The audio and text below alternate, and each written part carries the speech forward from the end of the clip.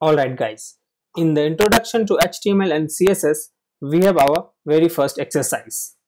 In this exercise, we have to make a simple page that prints hello world in a heading level one element, following with a long paragraph. And the paragraph can have any text content. Alright, so to create this exercise, I have taken a folder introduction which is already open inside my code editor that is VS Code and in this folder I have taken a another folder that is exercise 1.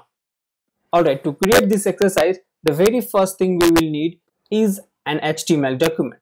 So to create an HTML document, we will take a file index.html .html. Alright, so now we have our index.html file. So the very first thing we will do, we will have our standard HTML document.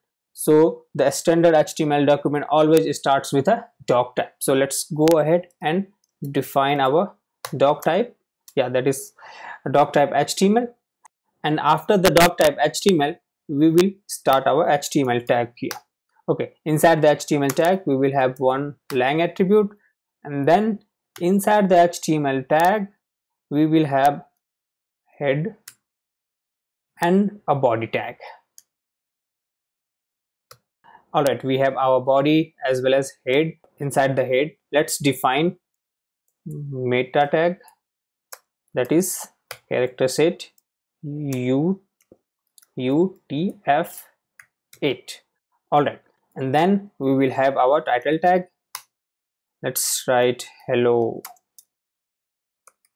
hello world. So this is our title which will be displayed on the browsers tab now we are done with the basics of head tag. Then inside the body tag now we have to print hello world. All right so inside the body tag we will take our first h1 tag because we have to display it in a heading level 1 element. So we have our h1 tag inside this h1 tag. Let's write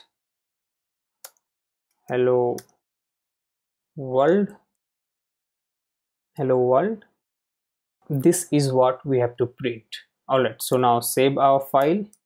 Now let's open it inside our browser. My folder is on my desktop so let's go ahead to the desktop and inside this exercise 1 and then index.html let's open this file now.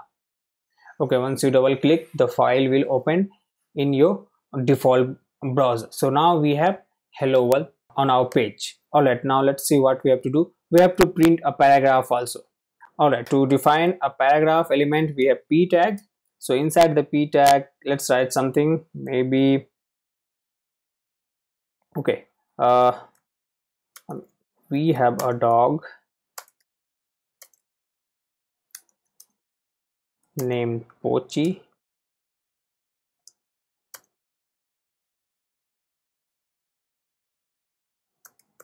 On our campus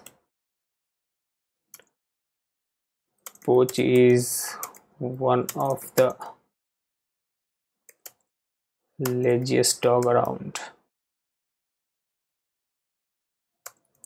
Who always wants to sleep?